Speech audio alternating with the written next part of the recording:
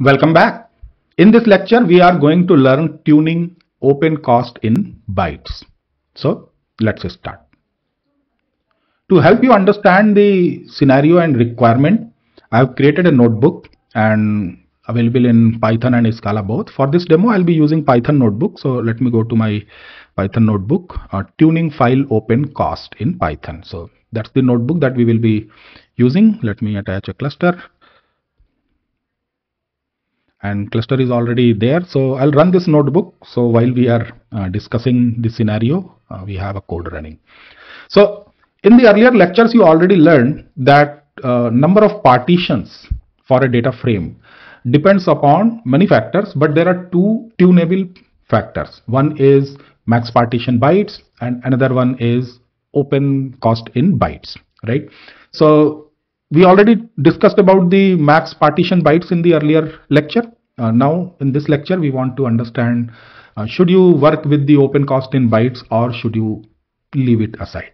And I also mentioned that open cost in bytes is mostly relevant for small files, right? So we have a small file scenario here and let's try to understand what is the scenario.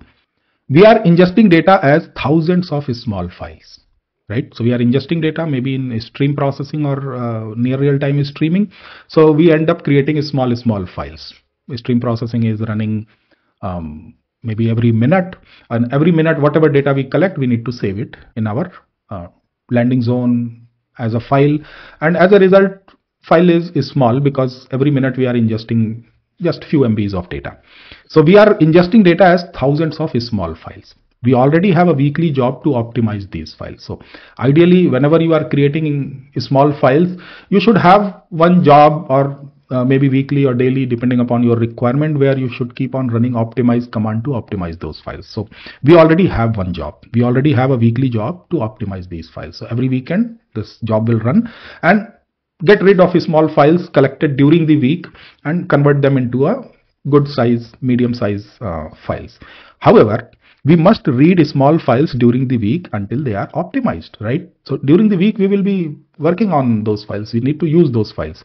Weekly optimized job helps us to limit the volume of small files. So we will not end up having millions of small files, right? Every week, maybe 10, 20,000, 30,000 small files will be created, but end of the week, those will be optimized.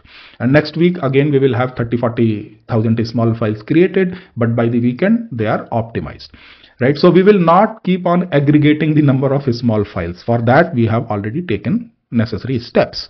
Uh, but during the week, we will be creating 30, 40,000 small files.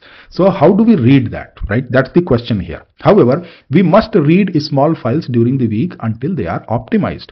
We learned that we can tune small file read using OpenCost in bytes, right? Uh, we have the following question.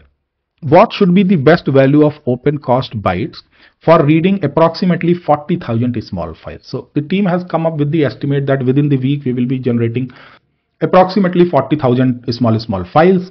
So how do we tune that for the during the week job? So that's the question. Can we tune this or what should be the best value for this? We know default value is 4 MB. So what should be the best value?